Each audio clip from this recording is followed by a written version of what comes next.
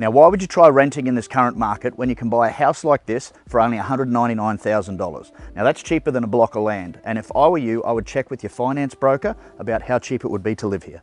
Let's go have a look. Located in between Townsville's bushland and Saunders beaches is this two bedroom cottage.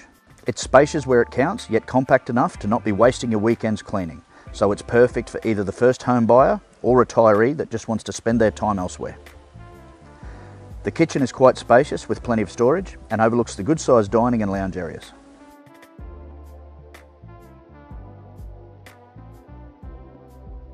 Both the bedrooms are big enough to put in any size bed you want and have a stunning aspect out to the yard.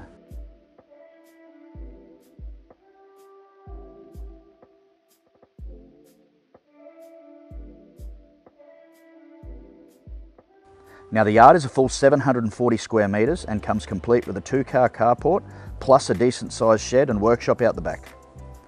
It's also a stunning place to hang out as the established gardens really have been meticulously looked after.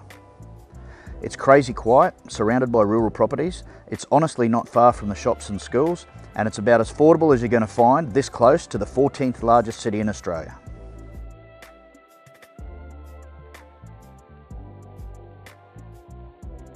If you're sick of renting and you want the relaxed lifestyle, you want to be able to move in straight away, then this is an option for you.